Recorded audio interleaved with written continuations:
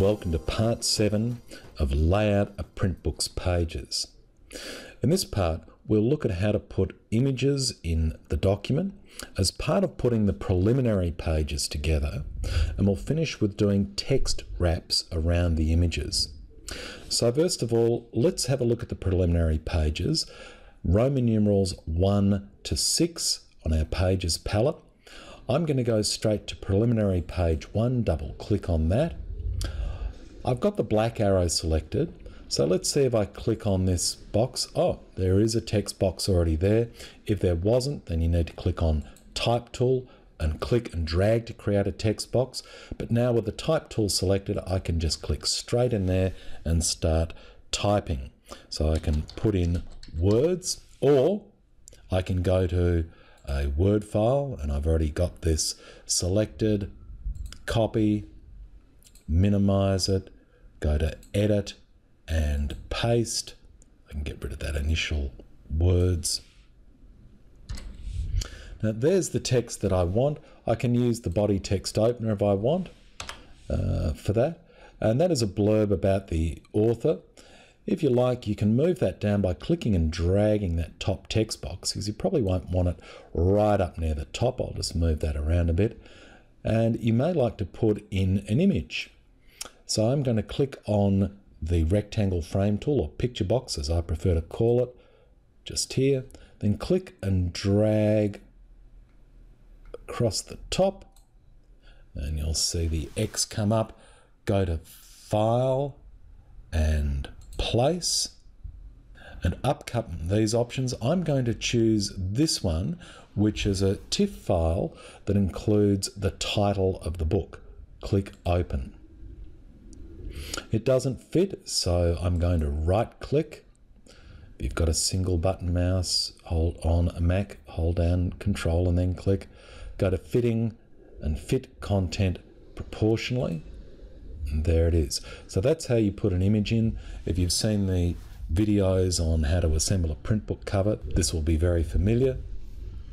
And if you want to play around with the position, go to the black arrow again, click on that and perhaps move the text box up a bit. Doesn't matter if they overlap too much there, but if you don't like that, well, just grab the picture box and move that up there. So maybe down a little bit. Yeah, okay, well, that's not too bad there.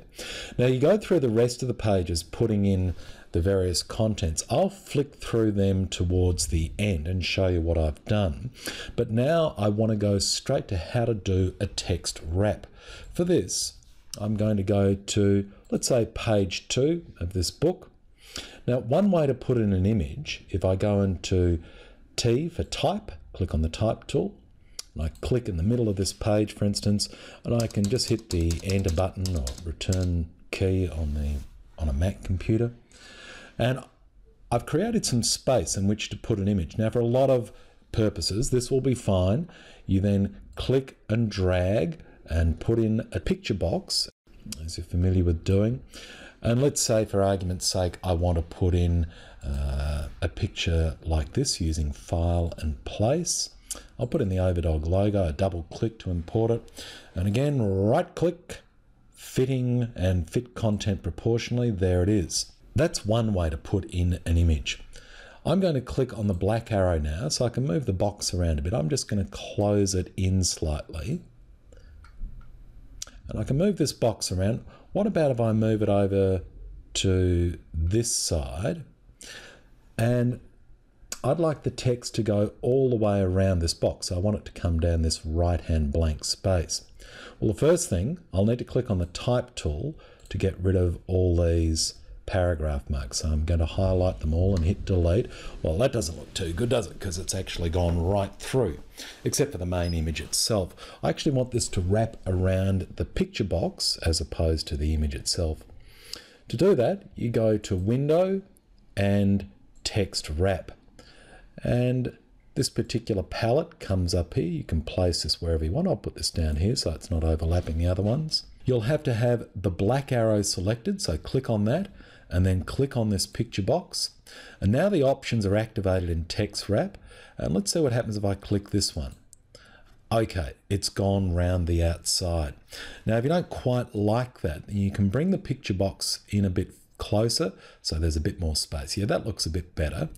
And if you want more space between the edge of the picture box and the text, then come over and fiddle with these parameters. I'm going to use this one to the right. I'm going to increase it to two millimeters. So two millimeters around, uh, there's going to be extra space so the text doesn't bump up too closely to the picture box. And that's how you do a text wrap. But now I'm going to get rid of that picture box. I just wanted to show you that. I don't want to leave it there, so I just highlight it and hit delete. Now I'm going to go through and put the preliminary pages in, all the details, and then I'll just go through them quickly before we end this video. But there is one tool I better mention before I just go and put all the text into the preliminary pages, and that is if you want a page break in InDesign, this is what you need to do. I'm on the very first preliminary page, and if you can see where the cursor is flashing, there's a hashtag I'm going to put in another paragraph mark just to separate that so you can see, all oh, right, there's a paragraph mark, there's a hashtag. Now I'm going to put in a page break. I could hit the enter key on the numeric keypad to the far right of the keyboard, but you may not have the numeric keypad. So you may need to go type, insert break character, and page break, and then you'll see the keystroke there. So we'll put that in, and this will allow me then to put in text on the next page. I'll just move this up there for a moment. And you can see what I'm going to do. I've already copied some text and I'm going to put it in here.